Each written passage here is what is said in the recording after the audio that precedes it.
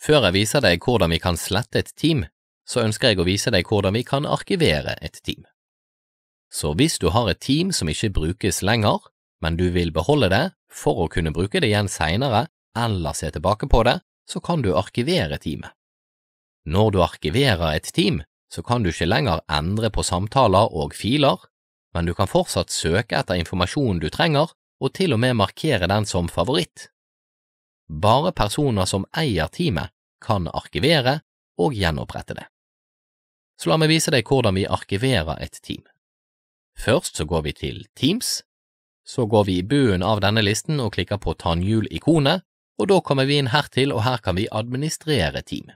Og jeg har to aktive team, og jeg ønsker å arkivere dette teamet.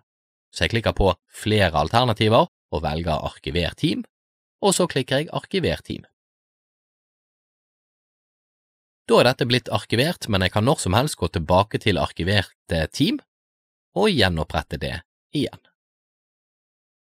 Og når det blir gjenopprettet igjen, så vises det her, men det vises som et skjult team, og jeg ønsker ikke å ha det som et skjult team, jeg ønsker å vise det på listen over mine teams. Så det var hvordan vi kunne arkivere og gjenopprette et team.